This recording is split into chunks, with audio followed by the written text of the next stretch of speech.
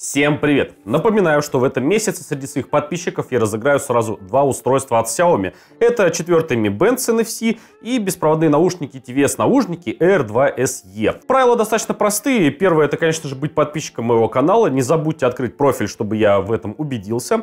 Второе, это поставить либо лайк, либо дизлайк этому видео, в зависимости от того, как вы его оценили. И третье, это написать совершенно любой комментарий. В конце месяца я проведу стрим, где вместе со своими зрителями мы выберем два самых популярных видео из тех, что вышли в этом месяце, и среди них найдем по одному победителю. Сказать по правде, меня очень удивило количество комментариев, которые вы оставили мне под моими предыдущими видео с просьбой сделать обзор на новую игровую гарнитуру Bloody M70. Я тестировал дорогую модель в этой линейке, модель M90, ссылочку на нее вы найдете в этом этом углу.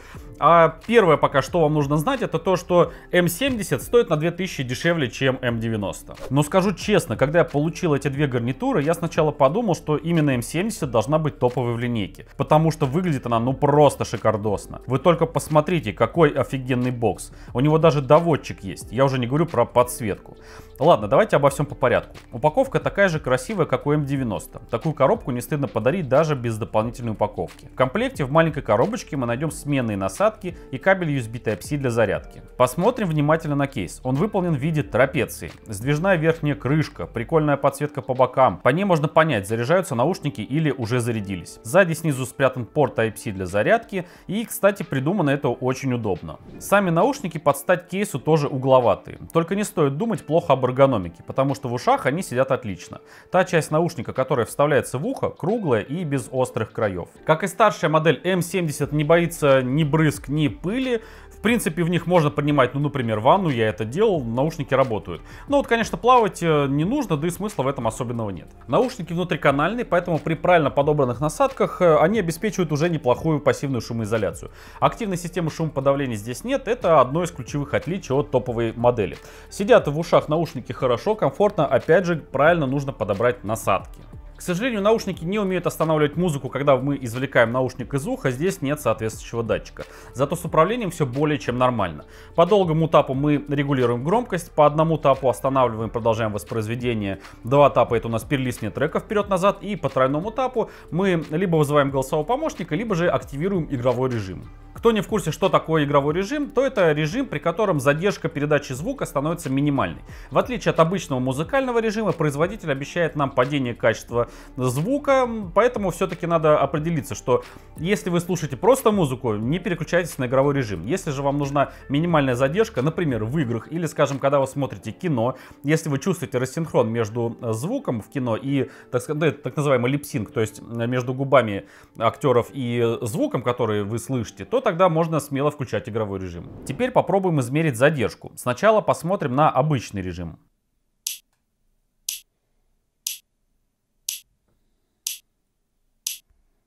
А теперь давайте посмотрим на игровой режим.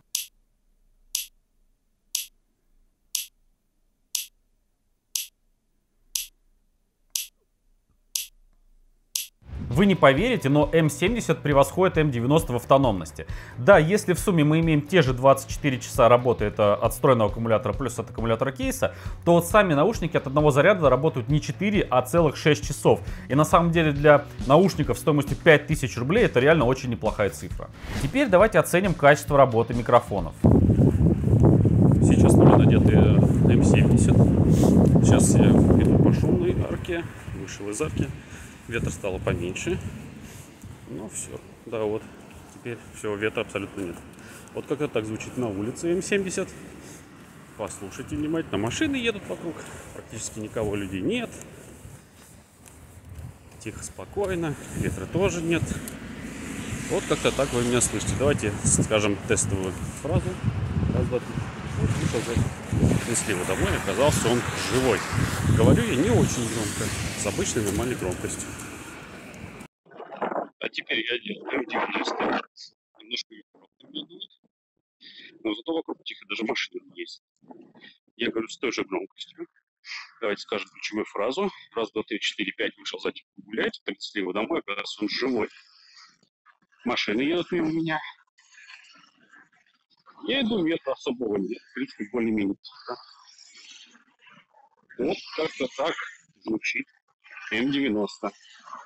Как бы не было удивительно, но у M70 мне еще и больше понравился микрофон. Да, конечно, суперактивным шумоподавлением здесь не пахнет, но реально M70, в отличие от M90, можно прям смело использовать как гарнитуру. Теперь о качестве звука. Сразу скажу, хоть здесь и установлен Bluetooth модуль версии 5.1, но никакой поддержки aptX здесь нет. Приходится довольствоваться исключительно стандартными кодеками. Первое. Есть запас по громкости, он очень неплохой, но, конечно же, на максимальной громкости есть некоторая резкость в области высоких частот. Но если понизить громкость буквально на парочку делений, то все, все уже стабилизируется, звук становится очень неплохим, и при этом все равно громкость достаточно высокая. Басы хорошие, они мощные, такие достаточно панчевые, обволакивающие. Их немножечко больше, может быть, чем полагается, но они не выходят на передний план там, где это не задумано. Средние частоты мне показались немножечко приглушенными. Высокие частоты, если же не выкручивать э, громкость на максимум, максимум, в принципе, вполне нормальный. На мой личный взгляд, все-таки по уровню качества звука M70 немножко уступает M90. M90 мне показались чуть более объемные и детализированные. Но могу сказать так, если вы любите внутриканальные наушники, то с вероятностью 90 или даже 95% эти наушники вам понравятся как по эргономике, так и по звуку. В общем и целом, M70 выглядит реально очень и очень неплохо. Так в чем же они уступают M90? Нет беспроводной зарядки, нет системы активного шумоподавления и все-таки немножко хуже качество звука. Но в остальном же, как бы это ни было удивительно, но э, середнячок выигрывает у топа. Ну, например, здесь лучшая автономность э, э, по работе от одного заряда, тут лучший микрофон, ну и дизайн, это прям вот мое почтение. На мой взгляд, даже за один внешний вид М70 можно простить вообще все недостатки, которые у них есть или даже могли бы быть. Свое мнение, конечно же, напишите в комментариях. Не забудьте при этом оценить видео лайком или дизлайком. Подпишитесь на канал, нажмите на колокольчик, если хотите одними из первых узнать о выходе нового видео. Ну а у меня на этом все. Меня по-прежнему зовут Максим. Всем пока!